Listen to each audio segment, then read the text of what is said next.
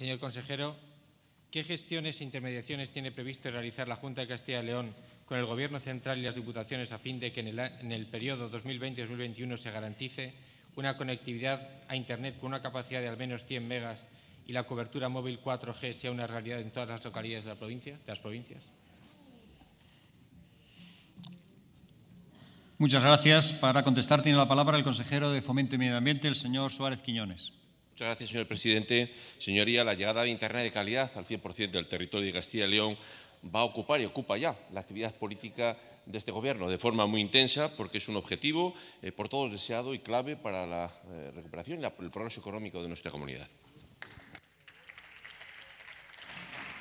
Muchas gracias. Para un turno de réplica tiene la palabra el señor García Conde del Castillo. Muchas gracias. Durante la segunda mitad del siglo XX se, fueron cubriendo unas necesidades en nuestros pueblos que en la actualidad nos parecen de varios siglos atrás.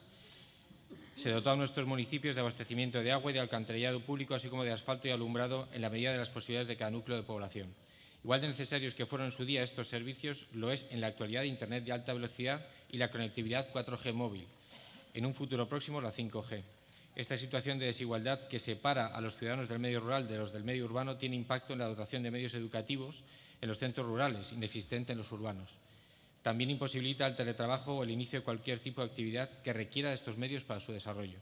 La Agenda Digital Europea plantea un objetivo de 30 megas de conexión mínima y de al menos un 50% de población con conexión de más de 100 megas para el 2020. Con este objetivo, la Junta de Castilla y León ha instalado fibra óptica en, diversos municipios de la comunidad durante el 2019.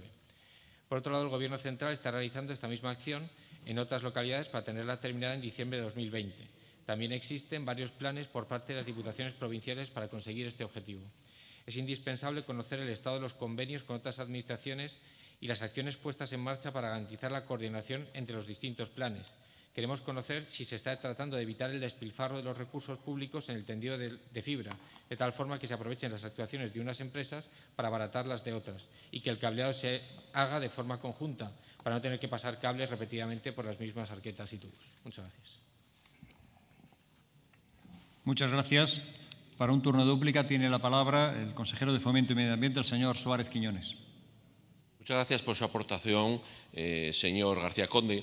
Eh, yo creo que es bueno recordar primero dos cosas que han de quedar claras en esta Cámara. Primero, la competencia exclusiva en materia de telecomunicaciones es del Gobierno de España, del Ministerio de Fomento, que es el que tiene la posibilidad de controlar a los operadores, el que concede las licencias de frecuencias para la telefonía móvil y quien puede determinar obligaciones de servicio público, como ha determinado una obligación de servicio público universal de Internet de un mega, que la tiene telefónica, y de telefonía fija, pero no lo hay de telefonía móvil, que por tanto queda en el libre desarrollo de las actividades de las operadoras que tienen una cobertura en 3G en Castilla y León del 99,6% y de 4G del 97,1%.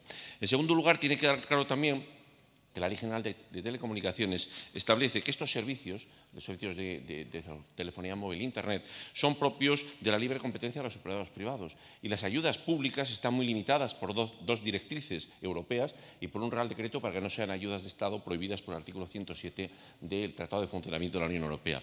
Unas ayudas que parten de una declaración de zona blanca que hace el propio Ministerio, la Secretaría de Estado de Avance Digital, y que determina dónde se puede actuar.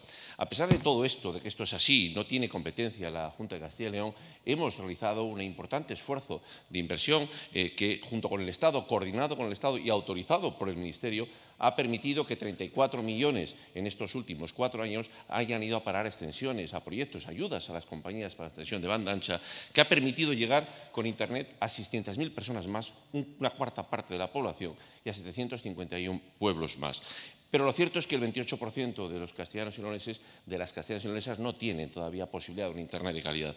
Pero mire, el acuerdo político de los dos eh, partidos políticos que sustentan este gobierno, y lo ha dicho con contundencia el presidente de la comunidad en su discurso de investidura, va a poner toda la carne en el asador para promover la inversión de 100 millones de euros del Ministerio, de la Junta de Castilla y León, y también vamos a tratar de llevar a las diputaciones en este camino. Y mire, lo mejor es predicar con el ejemplo. Y predicando con el ejemplo, ya hemos puesto en marcha, ya hemos iniciado la confección de la primera